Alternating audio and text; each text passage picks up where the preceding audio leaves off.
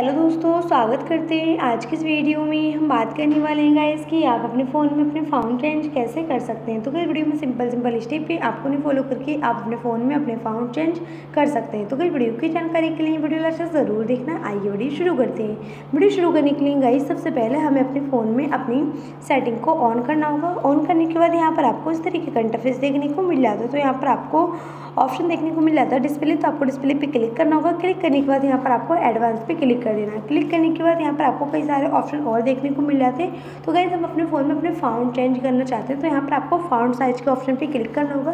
Click करने के बाद यहाँ पर आपको अपने फाउंड अगर बिग करने हैं तो आप तरीके से बिग कर सकते हैं। अगर आपको स्मॉल करने हैं तो आप यहाँ से स्मॉल भी कर सकते हैं। तो गाइज़ इस तरीके से आप अपने फ़ोन में अपने फाउंड चेंज कर सकते हैं। तो गाइज़ वीडियो पसंद आई हो तो शेयर करें लाइक करें चैनल पर नए हो तो चैनल को सब्सक्राइब करें। मिलते हैं अगली नेक्स्ट वीडियो में।